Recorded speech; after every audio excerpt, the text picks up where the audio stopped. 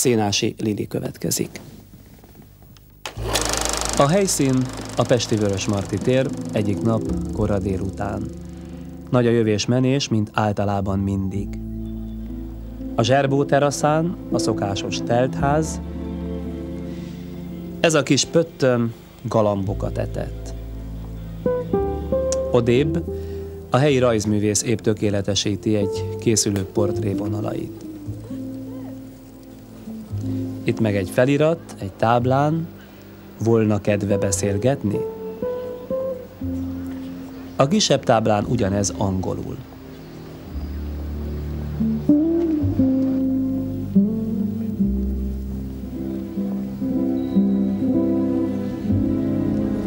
Sok a bámészkodó ember, de igazából a többség nem igazán akar eleget tenni a kérdésben megfogalmazódó felhívásnak. Egy pillanatra legfeljebb megállnak, eltűnődnek, de már mennek is tovább.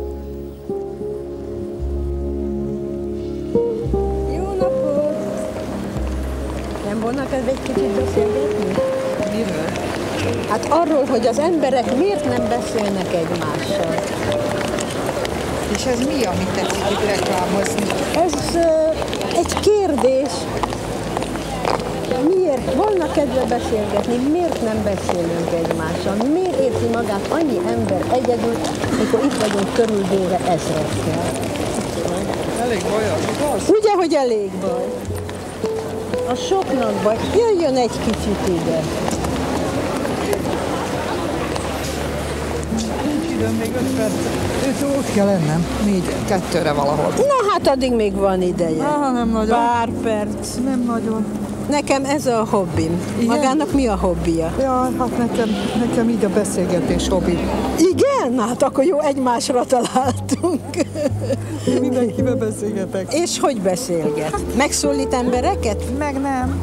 Ugye ez a baj? Igen, ez hiányzik. Csak úgy, úgy, úgy, úgy beszélgetek, hogy ö, közvetlenül mondjuk rám néz meg, meg, meg hát mellettem ül, vagy eszik, vagy mellettem van. De ki kezdi?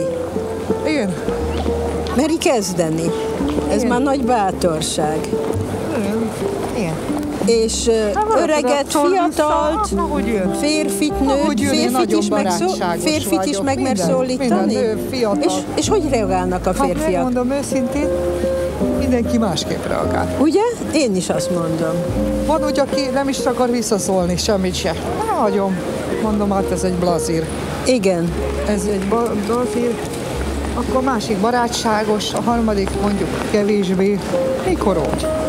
Nem szól, nem szól. Nem találja, hogy nagyon sok kedves ember van? De van sok kedves, az biztos.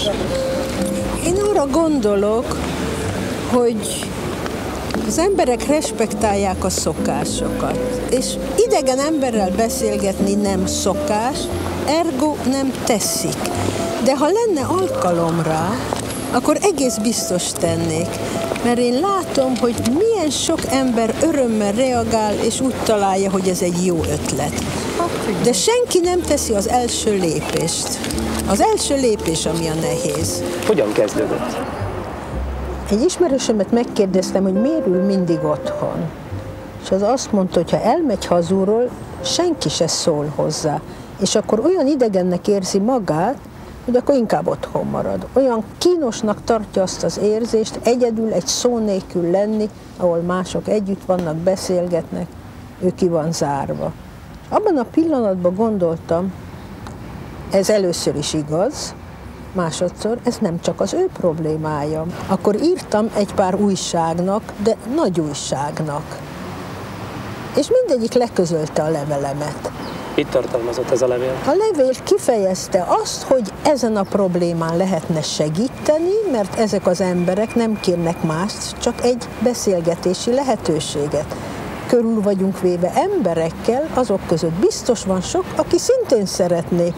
Szóval ennek elfben egyszerűnek kell lenni. Tehát megtetszett hirdetni újságokban, hogy esetleg ebből lehetne egy mozgalom, vagy Hát, csatlakozni hozzá? Hát nem, én nem, nem hirdettem, én nem tudok ilyen újságokba hirdetést betenni. Írtam nekik egy levelet, mint az olvasók írnak az újságokhoz. És tegint, hogy mindegyik leközölte, akkor gondoltam, ők is érdekesnek tartják a gondolatot, mert ők nem közölnek le minden levelet, amit kapnak. Milyen volt a fogadtatása? A fogadtatás nagyon jó volt, kaptam egy pár levelet az olvasóktól, és mindenki azt mondta, hogy az ötlet jó, és hogy meg kéne csinálni. De gondoltam, hát most meg van indítva, hát természetesen nem történt semmi. Mikor ült ki először egy parkba? Most már több mint tíz éve, de azt nem egy parkba kezdtem el, hanem egy kávéházba. Brüsszelnek rossz a klímája, szóval ott nem lehet egy parkra, ott nem lehet egy parkra számítani, mint állandó helyre. Egy kávéháznak a főnökével megbeszéltem a dolgot, neki is tetszett az ötlet, és gondoltam, mi történik, megpróbálom. És kiírta egy papírra, hogy volna kedve velem Nem, akkor az volt a szövege, szövegem, ez egy társalkodó asztal. És kitettem a kirakatba is cédulákat, hogy jöjjön ide beszélgetni, itt van egy társalkodó asztal. És én ültem bent, és én láttam az embereket a kirakat előtt, akik mentek, nézték a cetlit, mentek tovább, visszajövő, mintha nem hittek volna a szemüknek. Aztán volt, aki bejött, szépen körülment, messze leült, messze tőlem, és nézett, hogy mi fog itt történni. Szóval borzasztó bizalmatlanság, de érdeklődés vette körül a dolgot. Azt én rögtön megértettem, hogy az embereknek nem kell azt az impressziót kelteni, hogy én akarok adni egy témát. Egy beszélgetés az kell, hogy jöjjön spontánul, a pillanattól és a személytől főleg függően. Tehát bárki bármilyen témával ön mellé ül, csatlakozik az ön társaságához, akkor ön azt a témát folytatja? Egyáltalán főszerepet játszik a beszélgetésekben, vagy irányítja csak, és bizonyos kérdéskörök felé tendáltatja? Én megindítom. Az én szerepem tulajdonképp ebben az, hogy megindítom. Mert amikor jól megy, akkor egy kisebb csoport alakul ki, az emberek beszélgetnek egymás között, akkor már nincs is szükségük rám, és rájönnek, hogy milyen könnyű. Ha elkezdték, akkor már megy tovább. Pár percen. Na jó van. Hogy tetszik ez a gondolat? Nagyon jó. Ugye? Ügyes. Hogyha valaki unatkozik, mindig valaki jön, és lehet vele beszélni. Szeret beszélgetni? Hát én, én, én, igen, igen, én nem vagyok egy nagy dumás. Nem egy nagy dumás. Én szeretek hallgatni. Á, az kicsit igazságtalan. Miért? Mert az olyan egyirányú közlekedés. De nem, hát közbeszól. Közbeszól. Mond néha igent és nemet? Ne, hát hogy ne. Mit mond inkább, igent vagy nemet? Hát inkább yes vagy no. Á, te itt él? Nem. Nem? Hol él? Kanadában. Kanadában. Hát szóval, hogy mindegy, hogy mindegy. Jó napot kívánok! Ha egy kicsit közelebb De nem, jön. én átadom itt a hölgyekkel, nyilván jobb lehet. Például Párizsba, ott a Jardin de Luxembourgba csinálom. A Luxemburg kertben. A Luxemburg kertben, és ottan egy egész csoport összejön, mert az emberek tudnak széket odahozni magukhoz. És mint egy szalomban, csak az emberek nem tudják egymás nevét, amit később esetleg kitalálnak, de meg van indítva. Rengeteg kedves, helyes, okos, jóindulatú ember van, merem mondani, mindennek ellenére, ami történik a világban, de hogy lehet felfedezni az emberekről, hogy milyenek, ha nem lehet szólni hozzájuk? Úgy tetszik tapasztalni a világot járva, mert ezek szerint most már elhangzott, hogy Párizsban, elhangzott, hogy Brüsszelben, itt Pesten, a Vörös Marti téren. Európában. Hát, Európában, Európában igen. Európában, Kifejezetten igen. ennek él, hogy utazik különböző városokba, nem, és nem, kiül beszélgetni? Nézze, minden embernek van valami hobbija, ugye? Én ezt a hobbit találtam ki, és ahelyett, hogy kiábrándulnék belőle, egyre jobban szeretem tiszta önzésből csinálom, ezt meg kell mondanom. Először is, mert nagyon szórakoztat a dolog. Másodszor én sokkal boldogabb vagyok, ha érzem, hogy a másik is boldogabb. Én érzem, hogy az emberek ennek úgy örülnek, mint valami nem várt ajándéknak. Felfedezik, hogy tulajdonképp semmi nem akadályoz meg minket abban, hogy beszéljünk egymással. Ez nincs megtiltva, és ez nincs senkire rákényszerítve. Aki nem akar, nem jön ha leülnek emberek ön mellé, nem gyanakodnak? Tehát Dehogy nem, nem gyanús a dolog első látszatra? Dehogy nem. Aki nem ismeri, az sokszor nagyon bizalmatlan marad és hallgat, ez a legnehezebb, mert akkor kvázi egy monológot kell csinálnom, ami, amit nem szeretek, és ami nem érdekes. És érzem szinte, hogy ők várnak valamit. Ők várnak, hogy én kezdjek beszélni politikáról, vagy vallásról, vagy hogy valamit el akarok adni, vagy valamit, valamit akarok.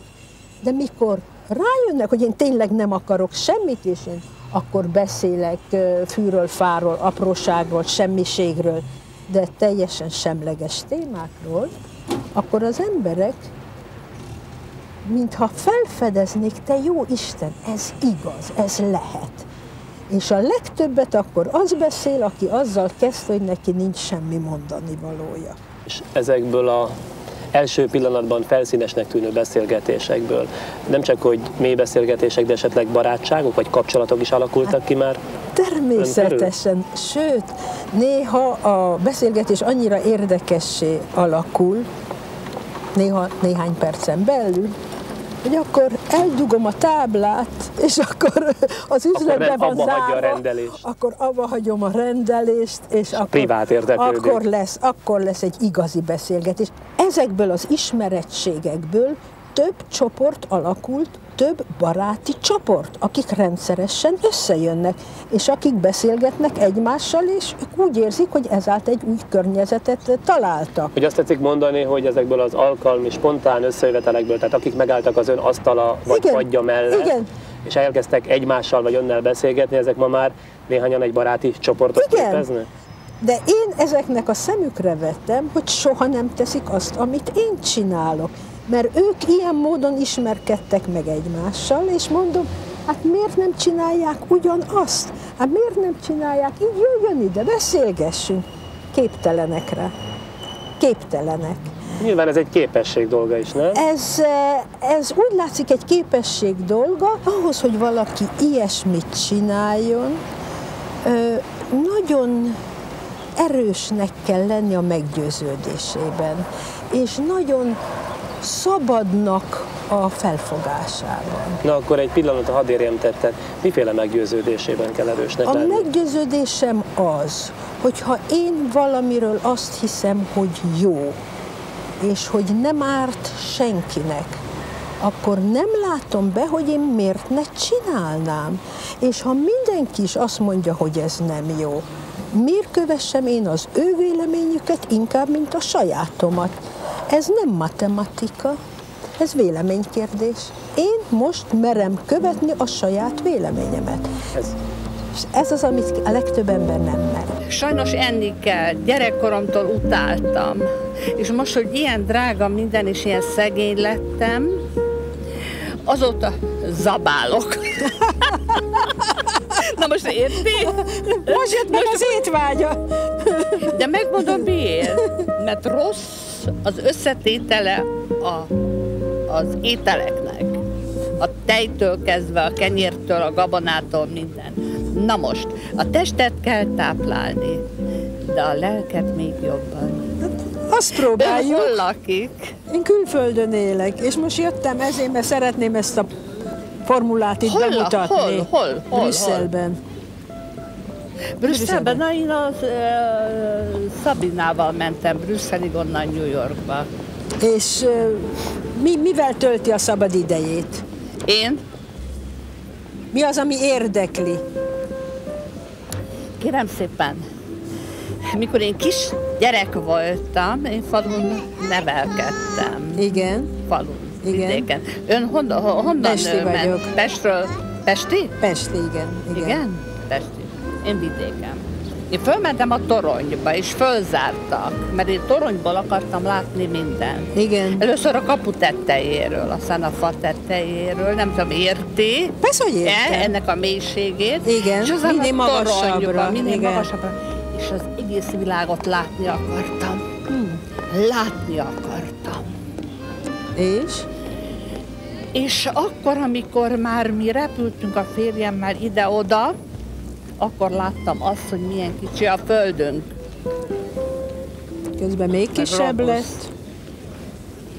Milyen pici, és milyen pici bogarak vagyunk. Megírom az egyik versembe, hogy mik ezek emberek, ez a versnek a közepe. Maga Kérdezik fent a felhők, figyelje, ölik egymást, gyilkolják, te jó Isten teremtöm, dühös lesz a földgolyó, megrázza nagy vállát, hisz évezredek óta tűrte a nagy lármát.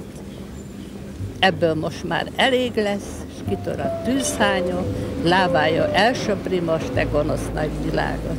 Naponta hány órát rendel? Most én ezt egy picit ironikusan mondom, de nem jutott jobb szó az Igen, eszemben. Igazán nem igen. Hát én ironizálok ezzel a éveken át témával. csináltam ezt minden nap, Minden nap? Szóval 5-6-szor egy héten, és körülbelül két órát egy nap. Szóval ez nem egy olyan nagy valami. És De ebből nem lehet megélni. Hát én nem is ebből élek, hát ebből én éhen halhatnék. Azért inkább. mondom. Hát ez, ez, ez az én hobbim. És én ahhoz hasonlítom, ahogy más megy bridgelni, én ezzel játszom. Ma már ön nyugdíjas ezek Én szerint? nyugdíjas vagyok, igen. Aktív korában köze volt a verbalitáshoz, a beszédhez? Tolmács voltam, de akkor sose azt mondtam, amit én akartam, akkor csak fordítani lehetett. Most kihasználom azt, hogy mondhatom azt, amit én akarok. Nagyon kellemes dolog. Előfordul néha, hogy valaki lát engem, és akkor azt mondja, maga annyira egyedül van. És akkor tényleg, hát látom, hogy szintén nevet rajta, akkor kitől belőlem a nevet, és egész egyszerűen nem merném. De hogyha én ezt ilyen magabiztonsággal merem csinálni, az azért van, mert én meg vagyok győződve róla, akár igazam van vagy nem, de én meg vagyok győződve róla, hogy ezzel én csinálok egy hasznos szociális munkát, és egy olyan formában, ami nekem kellemes. És Istenem, élek, mint mindenki más. Ezzel a kivétellel.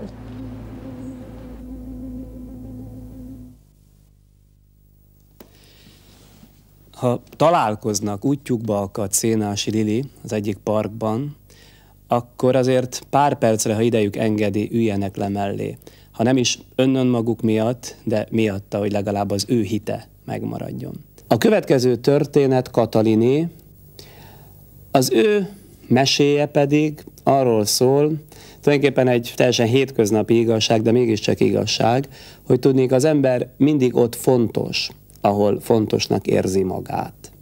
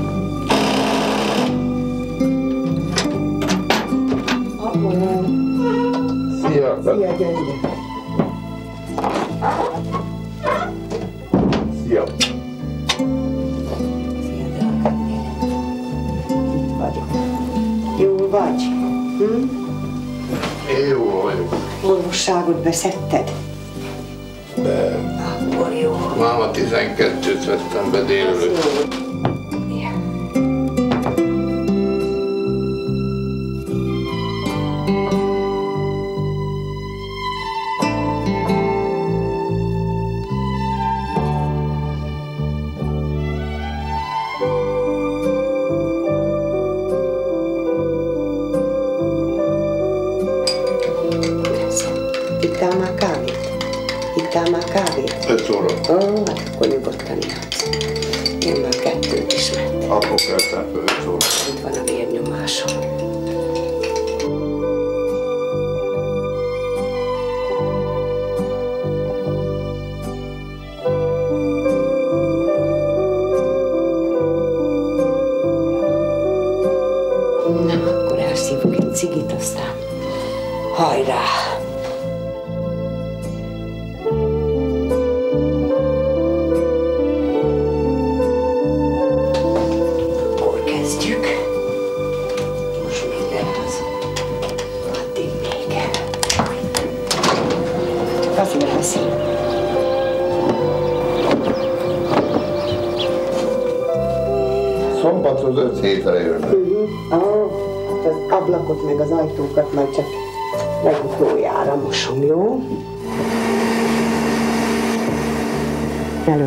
Elegánsabb helyeken takarítottam, de oda gyakran kellett volna járnom.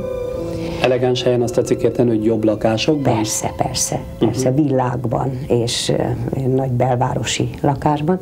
Egyrészt nem bírtam fizikailag, és gyakrabban kellett volna járni, úgyhogy azt mm, akkor azért nem tudtam vállalni, mert akkor otthon nem tudom elvégezni a dolgomat. Úgyhogy itt a lakótelepen, ami közel van, és lényegében olyan lakások, mint az enyém, tehát szinte ugyanúgy tudom csinálni. Ismeri őket, Ismeri. kézre állnak a lakások. igen, igen. Hány lakásban tetszik takarítani? Hát több lakásban, ezt azért nem szeretném nagyon hangsúlyozni, mert ugye ezt mind feketén csinálom, és ezt nem vallom be az adómba. Ajaj, Már ajaj, ez ajaj. nem olyan nagy tétel, hogy miatt bárkinek is fájna a feje. Én vidéken nőttem föl, nagyszerű emberek között különben, és egy vidéki ö, ember nem reagál mm, ilyen dolgokra különösebben. Szóval a, a pesti ember azt mondja vidékre, hogy jaj, hát a trágyadomb, jaj, hát ez a budi, de ez ne, nem zavaró, ez ott természetes. Szóval Együtt jár az élettel. Igen, és nekem eléggé jó természetes ösztöneim vannak, és nem, nem zavar az ilyesmi. Egy-két dolog zavar, inkább az emberekben. Mégpedig? Az álszentség, a nagyképűség, butaság, és, és a szeretetlenség az, ami nagyon zavar. Szóval ilyesmi nem zavar engem, hogy szemét, vagy porolni kell, vagy vécét súrolni. Tényleg nem zavar.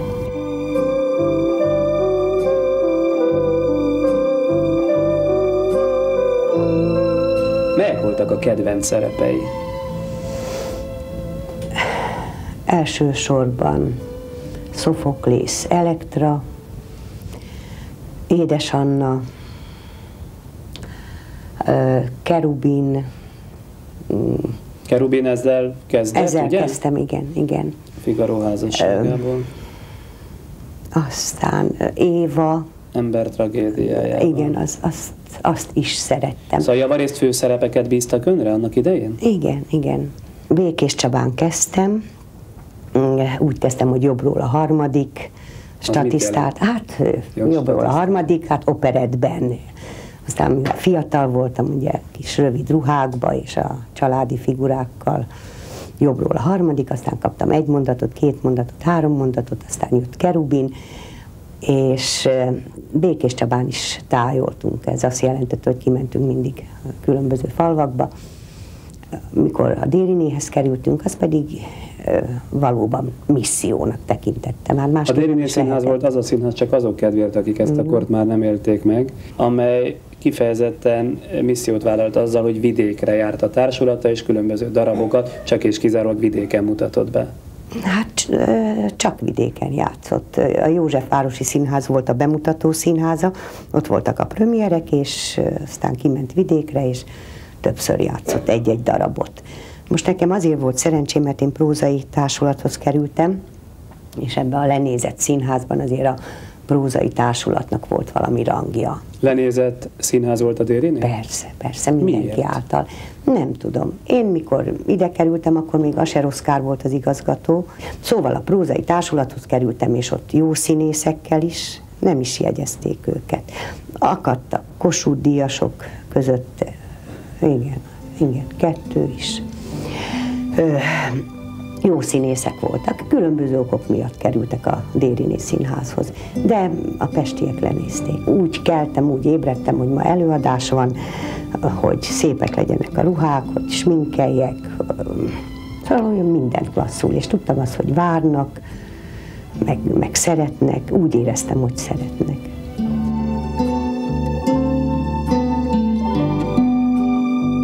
Egyáltalán hogyan adta a fejét a takarításra? Honnan jött az ötlet? Színésznő létére, hogy takarítónak menjen el, házi takarítónak.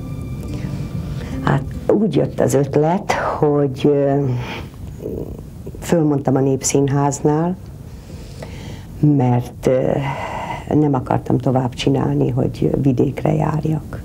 És akkor már megalakult a Józsefvárosi Színház, vagy de nem tudom. kérek, hogy Igen. itt közbevágok, de hogy, hogy megunta a vidékre járást. Hmm. Azt mondta, hogy ez volt az élete. Igen. Volt pesti részleg és volt vidéki részleg, és ezt kikértem magamnak valahol. Nem azért, hogy én föltétlenül a pesti részlegbe legyek, hanem ezt a fajta megkülönböztetést. Most én csak annyit kértem, hogy pár mondatra tegyenek be. Éppen eleget utaztam vidéken. Aztán ez nem sikerült, mindegy, hogy ki miatt, mi miatt. És azt mondtam, hogy elég volt ebből a fajta megkülönböztetésből. Szóval úgy éreztem, mint a sárga csillagot hordanék. Szóval nem, nem szerettem az ilyesmit. Meg nem tartottam igazságosnak azt, hogy én, aki igazán sokat dolgoztam a színház, a Dériné színházban, négy mondatot ne tudnék elmondani bent. Már hogy Pesten. Pesten. Akkor sokáig nem dolgoztam, vagyis hát otthon csináltam az életemet, akkor még a férjem a filharmóniánál volt, és ott volt osztályvezető, bekerültem oda, mint prózista, és vidékre jártunk szintén ifjúsági előadásokat tartani, egyórás műsorokat, nagyszerűeket csináltunk. Ezek a féle önálló estek, vagy ilyesmi? Nem, nem önálló es, nem, hanem operaénekesekkel, vagy zenészekkel, egy bizonyos műsor. Ilyen címe volt például az egyik műsornak, hogy a haza szeretet a zenében. Nagyszerű műsorok voltak, és kitűnő emberekkel ismerkedtem, meg egy külön világ volt számomra.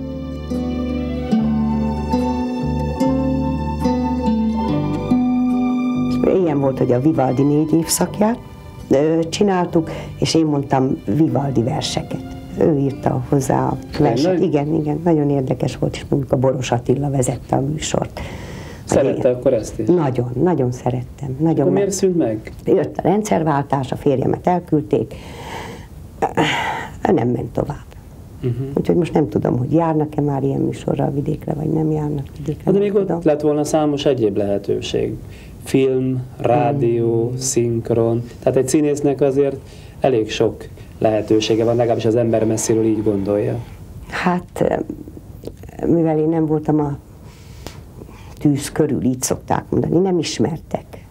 Hazajöttünk tíz napos turné után a Dériné színházból, három nap szünetünk volt, tehát akkor sehol nem tudtam mm, elmenni, hogy rádió, esetleg behívtak a rádióba, még egy-két ismerősöm volt. Filmezni, egy fi, ö, film főszerepre hívtak, már nem is tudom, hogy hogy kerültem oda. Hogy, Hány éves pályafutás alatt? Nekem 59-ben ke- kezdtem, akkor hány? És meddig csináltál? Meddig csináltam? Hát lényegében 8 évvel ezelőtt fejeztem be. És jó színész volt? Már elnézést, hogy ezt firtatom. Én nem láttam, vagy nem láthattam, de hát biztos azért belül tudja azt az ember, hogy körülbelül hova tartozik, vagy hova sorolható. Hát nem tudom. Ezt, ezt nem Mondja tudom. ezt, nem belül. voltam rossz színész. Tessék? Nem, volt, nem voltam rossz színész. Nem voltam. Jobb is lehettem volna, de nem voltam rossz. Uh-huh. Én mindig elégedetlen voltam magammal, de mindenki ezt mondja, aki valóban így is érzi. Hát nem voltam elégedett, de azt hiszem, hogy úgy megcsináltam mindent. Kitüntetése például volt-e? Kapott-e? Hát kaptam Jászai díjat, az nagy boldogság volt. És még nem is olyan rokkantam kaptam, mert azt is olyan, már csak éppen, hogy ki tud menni érte a díjért. Uh-huh. Úgyhogy ez nagy öröm volt számomra, de azt hiszem az Elektra miatt kaptam. Ezen kívül más? Ezen kívül más, ezen kívül más semmi. És milyen volt közben a magánélete? Tehát mondjuk megadta a módját? Olyan színésznő sen ért? Tudja, mit értek soha. én ezen? Tudom, tudom, nem. Nem soha. Albérlet, albérlet. Békés Csabán albérlet. Budapestre följöttünk, öm, nehezen szereztük meg a lakásunkat, nyolc évig volt eltartási szerződésünk. Ez nem egy könnyű dolog. Nagyon kedves nénit tartottuk el, de nagyon nehéz. Akkor végre sikerült egy kétszobás lakás, közben született egy gyerekem elég későn, nem azért, mert nem akartam, így alakult. Aztán nyolc évre, kilenc évre rászületett egy másik, úgyhogy két lányom van, most már unokám van. Mindig nehezen éltünk a férjemmel, Mm, nem, nem jött sehonnan úgy különösebb nagy pénz. Nem tudtunk előre lendülni, de azért mindig olyan tisztességgel. Autót nem tudtunk venni, nénikre kellett fizetnem nagyon sok pénzt, mert hogy utaztam, a gyerekekre vigyázzanak. Nagyon sok pénzt elköltöttem arra. És akkor hazajöttem, takarítottam, főztem, elkészítettem mindent, utaztam, szóval mindig dolgoztam. Voltak nagy álmai, nagy vágyai? Nem biztos, hogy a pályával kapcsolatban, úgy általában. Az Hát, életre vonatkozó. Nagy, nagy, nagy. Igen, szerettem volna egy kertes házat, két kutyám legyen. De lehet három is. De csak kertes ház, meg legyen zöldséges kertem. Szóval ilyen nagyon prózai álmaim. Ezzel szemben voltak. Ezzel szemben van egy lakótelepi, 68 négyzetméter, ami elég, elég szűk, tehát mindegy. hányan élnek ezen a 68 négyzetméteren? Hányan élünk? Hát most az unokámmal együtt öten. Úgyhogy nem könnyű.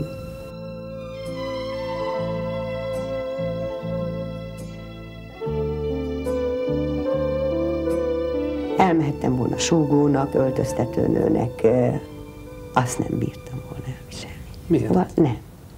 Színház közelében maradni, nem? Nem, nem, nem. Azt, azt nem bírtam. Nem azért, mert irigyeltem volna azokat, akik játszanak a színpadon. Nem. Nem, akkor azt mondtam, hogy valamit kell csinálni, de akkor pont a fordítottját. Szóval akkor végletekbe kell gondolkodni. Egy hivatalba nem tudtam volna elmenni, az, az nem az én világom. Nem tudom miért. Meg nincs semmi képesítésem. Azt mondtam, ehhez jöttek, takarítani tudok, és társas lény is vagyok, vagy úgy, tehát meg, hogy mondjam, lelki szolgálatot is teljesítek közbe, és segítek embereken. Ez olyan fura, és még pénzt is kapok. És ez, és egy fellépés is volt számomra. Mert én elmegyek súgónőnek, az, az, azzal nem léphetek föl, akkor nem megyek és ott súgok. De így, ha elmegyek takarítani, akkor mégiscsak el tudom mondani, hogy én mekkora színésznő voltam, még képeket is véltek, megmutathatom, és milyen ragyogóra tudom takarítani a lakást, mert azt ugyanúgy csinálom különben, mint a sajátomat, szóval én nem vagyok egy jó takarító, hogy csak itt-ott amott, hanem én olyan precízen, tökéletesen megcsinálom, és akkor úgy veszem, mintha fölléptem volna, hm. megkapom a pénzt, és akkor nagyon örülök, hogy ezt hazavihetem. Nyugdíjasokhoz járok, és sokan vannak egyedül, és az nagyon jó dolog, ha valaki fölmegy hozzájuk, és beszélget velük, vagy meghallgatja őket. Porszívózás előtt és portörlés Hogy után. van kávészünet, természetes dolog, cigaretta, kávészünet, és akkor beszélgetünk, és akkor én is meghallgatom, hogy mi van, elmondom a napi problémáimat, ők is elmondják, és ezt nagyon fontos meghallgatni. Az a legfontosabb, olyan nehéz ezt megfogalmazni, mert utálok nagy szavakat hasz- használni, meg elcsépelt szavakat használni, hogy egész biztos, hogy szükség van rám. A takarításnál is, már az idős emberek részéről, meg otthon is nagy szükség van rám, főleg azóta, mióta unokám van. Nélkülem, ez nem nagy képviség, nélkülem nem tudnak levegőt venni, és ez nagyon jó dolog. Ez jó dolog. Elfáradok, de, de akkor is jó érzés. Szóval az a fontos, hogy az ember érezze annak szükségét, hogy szükség van igen, rá. Igen, igen. Ugyanezt éreztem a színháznál is annak idején. Mikor járt utoljára a színházban, de úgy nézőként? Nézőként? Nagyon régen. Hmm, nem szeretek színházba járni. Szeretek, szerettem nagyon. Nagyon. Fáj? Uh, igen, igen.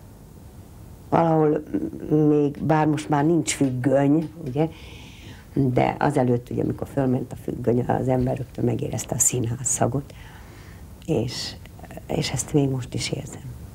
És mire vágyik? Mi az, amit még szeretne? Mi nem. Hát, ha felfedeznek, mint ö, komikát. Jó, jó idős színésznő, vagy jó nagymama szerepekre például. És akkor mi lesz a kis öregekkel, akik ezt takarítani tetszik? Hát ezt össze lehet egyeztetni, és ez még nagyon sokára lesz, mert még ahhoz várnom kell egy kicsit, azt hiszem. Olyan sok színész van állás nélkül, és olyan, olyan nehéz a mai világban. Szóval azért szeretne csinálom. még úgy játszani? Igen, Isten igen. igazából megmutatni? Igen, igen. Igen, szóval, hogy úgy nem hűltem el azért. Szóval inkább ezt szeretném.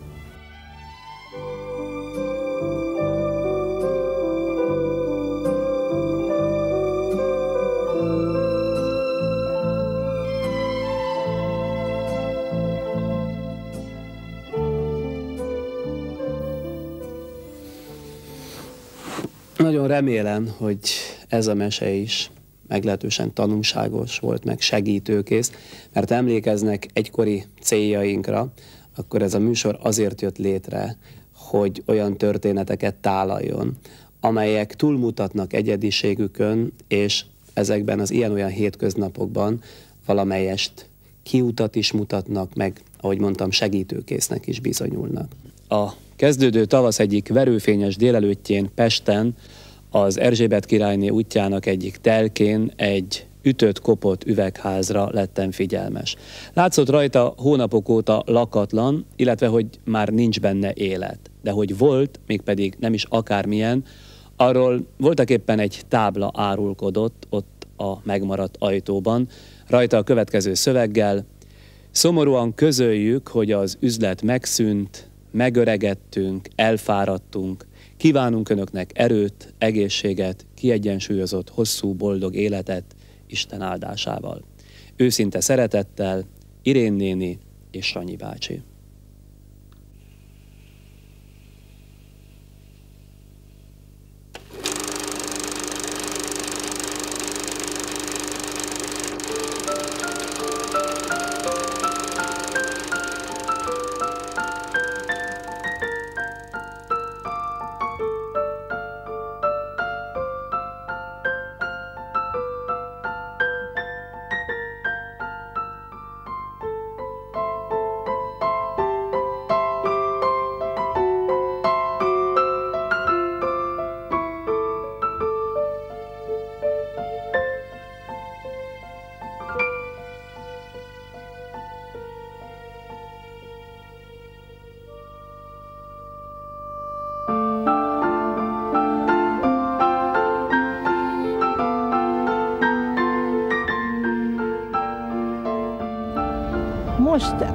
Áprilisban lesz 40 éve, hogy ide költöztünk ebbe az Erzsébet királynőti szép lakásunkba Kaposvárról, és első dolgom volt, hogy körülnéztem, kik laknak erre, milyen üzletek vannak, kivel lehetne kapcsolatba kerülni, mert nekem nagyon nehezemre esett Pestre felköltözni. Sírtam, amikor a férjemet ide helyezték, de aztán megpróbáltam megbarátkozni ezzel a helyzettel. Akkor vettem észre örömmel, hogy hoppá, itt a környéken van egy kertészet. Ez azért volt érdekes, mert a kaposvári házunk mellett is volt egy kertész. Na mondom, itt az első közös pont, ami hasonló, mint Kaposváron volt. És ide átjöttem, bemutatkoztam, megismertem Hafner Pista bácsit, aki már akkor is kicsit idősebb volt, mint én, és a feleségét Marikát. Nagyon kedves emberek voltak, és mondtam, hogy miért jöttem, itt lakunk a szomszédba, szeretnék jó barátságban lenni, mert én nagyon szeretem a virágokat, és gyakran fogok vásárolni. És ettől kezdve, hogy úgy mondjam, minden héten gyakran jöttem át hozzájuk, mert az életemhez hozzátartozott a virág. Mindig akartam vásárolni, hol ezért, hol azért, és ez volt a legkedvesebb üzlet a környéken. Ahogyan az emberekkel foglalkoztak, ahogyan nem fölényesek voltak, hanem nagyon kedvesek, minden igényüket valahogyan próbálták figyelembe venni.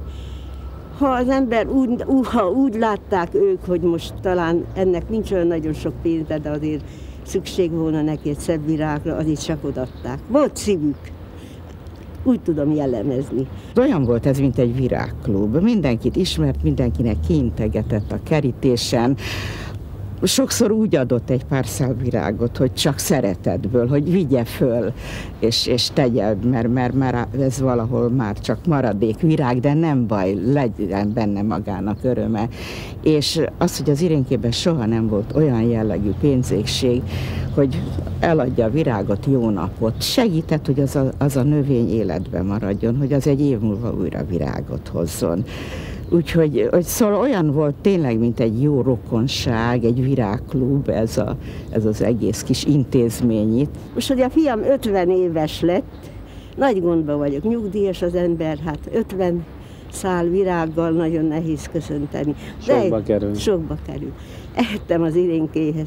Azt mondja, megoldjuk, ne, ne tessék busulni ezért, megoldjuk. És akkor nekem azt mondta, tessék helyet foglalni, majd én valamit csinálom. És akkor elővette, nem tudom miből, de kirakott egy szép ötvenes számot. És azt a számot telerakta virággal, be is fonta egy kis zölddel, és öt szál virág közepébe beleillesztette. Azt mondta, ezt szeretettel én adom, ezért nem kell semmit fizetni. Hát én majdnem elbőgtem magam, őszintén megmondom, annyira jól esett, mert nem azért, hát talán ki tudtam volna fizetni, de valahogy az a gesztus, ahogyan ő ugye közel, és ahogyan akart segíteni nekem. Hát ezt nem tudom elfelejteni. Kezdték felszámolni az üzletet. Hát úgy éreztem legalábbis, hogy az irénkének, mintha egy-egy ujját vágták volna le most, ugye kiárusította a gyönyörű pálmákat, fikuszokat, virágokat, póton pénzért, csak hogy már vigyék, vigyék, vigyék. És amennyire érzem, őt is az dominálta, hogy ameddig lehet húzta, hogy még itt van.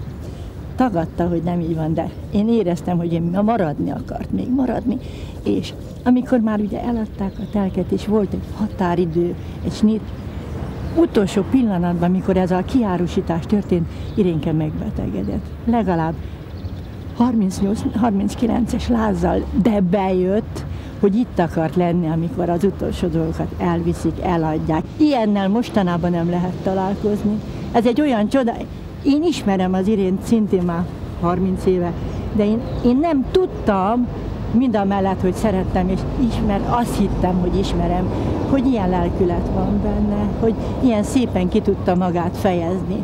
És ez az egész környéket annyira meghatotta, hogy számtalanszor arra mentem, és álltak az emberek, és mondták, hogy jaj Istenem, már megint megszűnt valami jó ebbe a kerületbe. És mindannyian úgy éreztük, hogy lezárult egy korszak. Ez, a, ez az ember közeli korszak.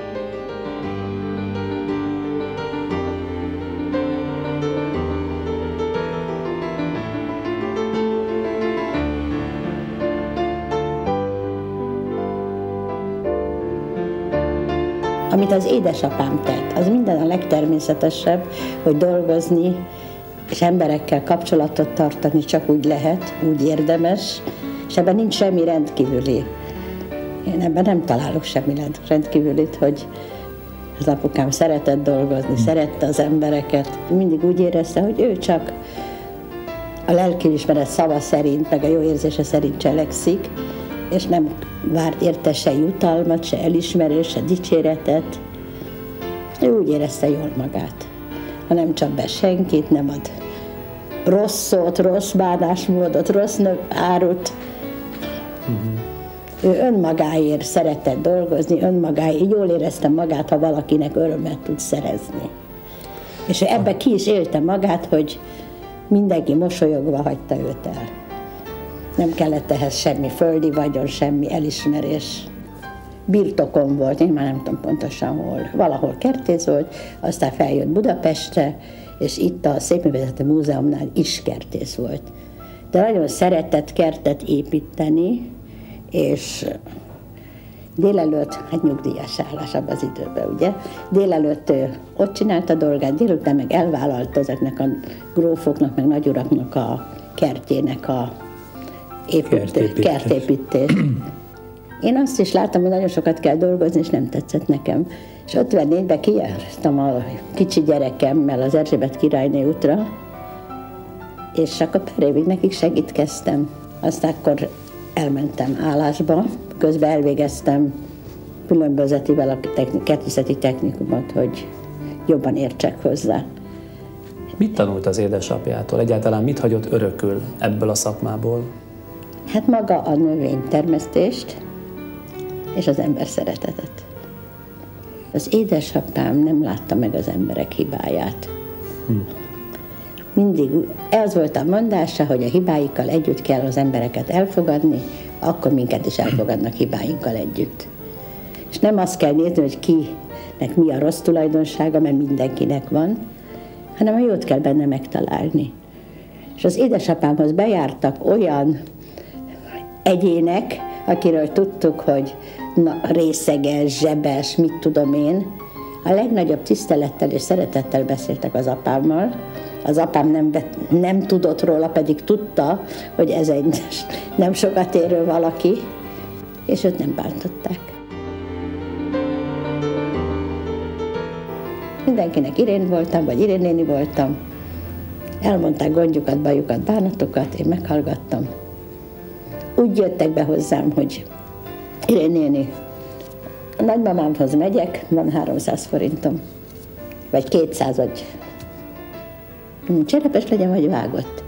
Oda bizom, és akkor kapod valamit. Tíz vevő közül nyolc, nyolc úgy jött hozzám vásárolni. Nem attól, hogy na most én becsapom. Nem is csaptam be. Hát miért csapjam be?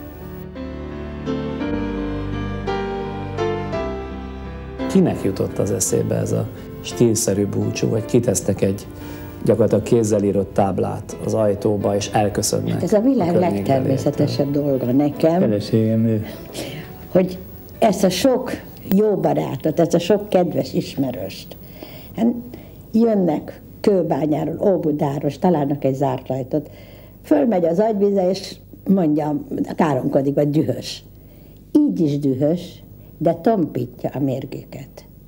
Hát ez az egész tábla nem került 20 forintba, és nem volt rajta fél órai munkám. Hát ennyit nem tehetünk meg az embertársainknak. Ez csak egy gesztus valami semmiség.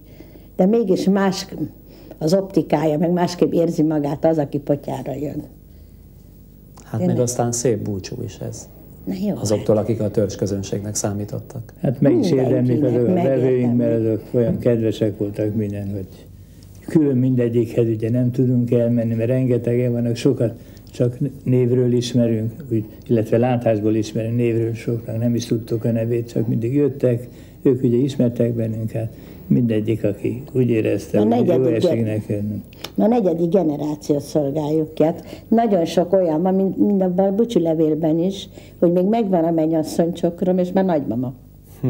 Amit az anyám kötött neki, mikor férhez ment. De ugye azt tetszenek tudni, hogy nagyon ritka az ilyen búcsú. Hát ez a baj, ez a baj, hogy valahogy úgy elgépiesedtünk. Mert ez lenne a természetes.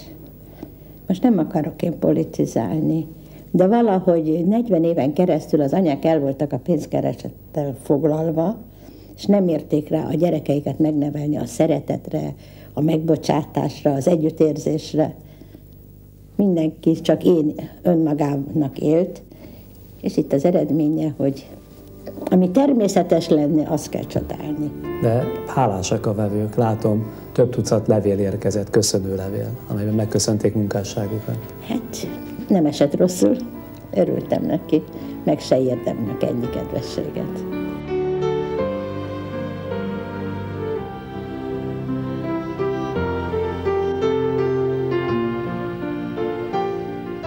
átrendezték az életüket azóta? Tehát vannak új célok, új perspektívák? Hát most télen nem szívesen mozogtunk, de tavasztól sűrűben járunk össze barátokhoz, és nyárára is vannak nekem terveim. Milyen jellegűek? Lesz kiskutyám, lesznek madaraim, és kétszer két hétre két kettő-kettő állami gondozottat megnyaraltatok. Ez a nyári El tetszik hozni az intézetből? Elhozok kettőt az intézetből. Papa most egy kicsikét morogni fog, de mm. beleegyezik, mert mindig először elmondja a véleményét, aztán... Úgyis úgy van, hogyan akarja. Nem én mondtam. Számtalanszor arra mentem, és álltak az emberek. És mondták, hogy jaj Istenem, már megint megszűnt valami jó ebbe a kerületbe.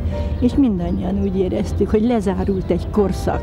Ez, a, ez az ember közeli korszak.